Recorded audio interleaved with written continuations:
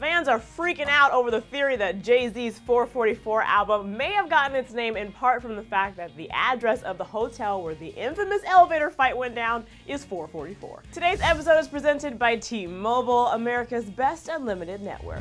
Jay has already addressed why he named the album 444, but I am not ruling out this theory. The internet is freaking out after someone tweeted a photo of the Standard Hotel's address in New York City, saying, quote, I'm at the Standard where Solange beat Jay-Z's in the elevator. The address is 444. I am shook.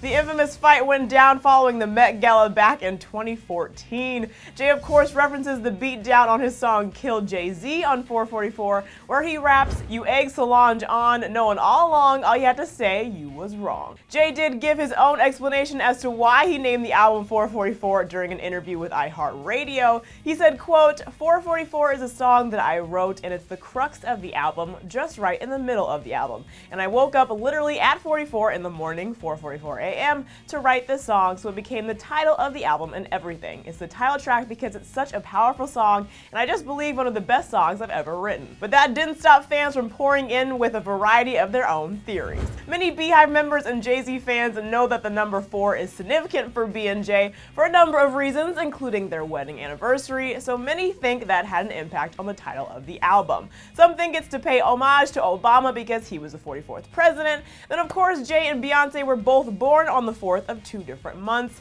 but I'm still sticking with the elevator location as my favorite theory. The tweet that started that theory has been shared over 11,000 times, so it looks like I'm not alone in my favoritism. But I want to hear what you guys think. How eerie is it that 444 is the address of the hotel where the elevator fight occurred? Sound off in the comment section below, and don't forget to subscribe. Thanks for watching Clevver News. I'm your host, Drew Dorsey, and I'll see you next time. Click left to watch Selena Gomez eat lipstick in her new fetish music video. This episode was presented by T-Mobile. With unlimited data, you can fuel your fandom like never before on America's best unlimited network.